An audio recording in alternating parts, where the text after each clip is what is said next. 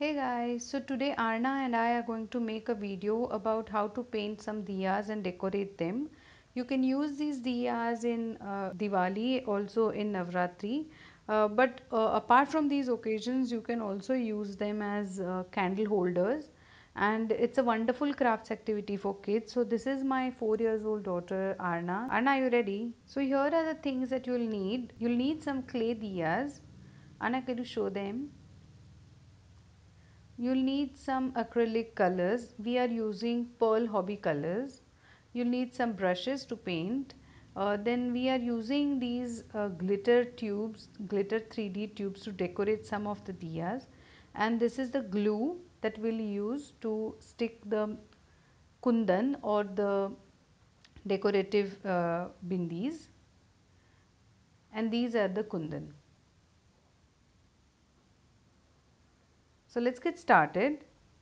So first we will paint the diyas with different pearl colors. So let's start with the painting.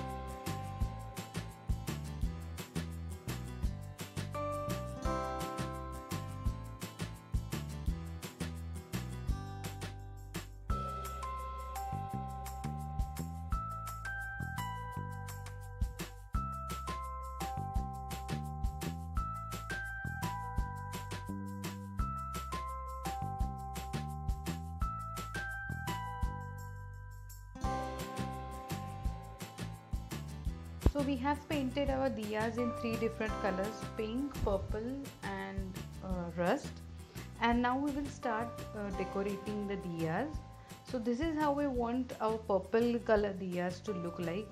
To start with uh, take the fabric glue or the decorative glue and uh, put dots around the edge of the diya and then I'll give it to Arna and she will put the kundan on it one by one.